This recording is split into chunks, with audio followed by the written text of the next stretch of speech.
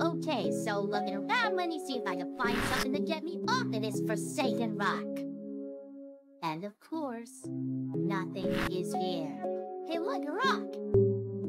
On a rock. rock. On a rock. What is that?